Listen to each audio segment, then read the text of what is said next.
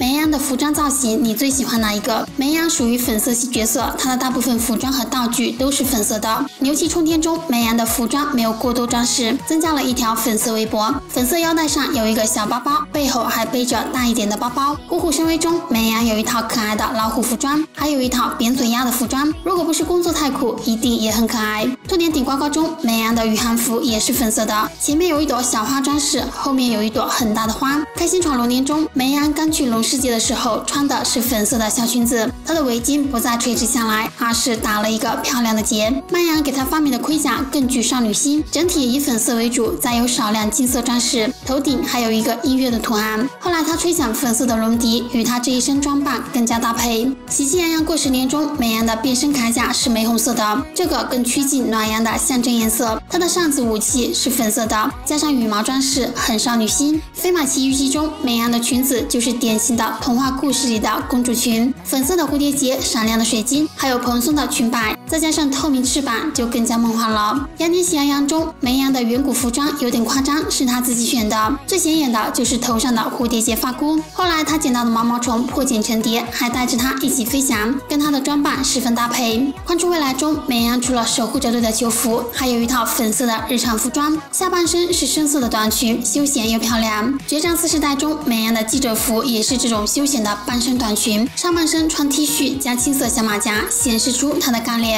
勇闯四季城中，美安的勇者服装相对简单，依然是粉色为主，这种不规则的花边显得更加俏皮可爱。她的背包后面还加了两个小爪子，从正面看也超级可爱。后来她失忆成为春花城的公主，她的公主裙主要以金黄色为主，加上粉色的薄纱装饰，可能这样显得高贵吧。仔细看，她的蝴蝶结也换成黄色的了。给快乐加油！二十五集，小羊们变身水果超人。梅安的水蜜桃铠甲主要以淡黄色为主，也是一件小裙子，背后还有两对翅膀，像一个小精灵。深海历险记中，美羊穿了一件粉色的人鱼套装，大家都说漂亮。整体以贝壳珍珠装饰，背后加了人鱼尾巴，显得更加逼真。美羊的霹雳号上就有变装的功能，它经常做出各种套装来打扮自己。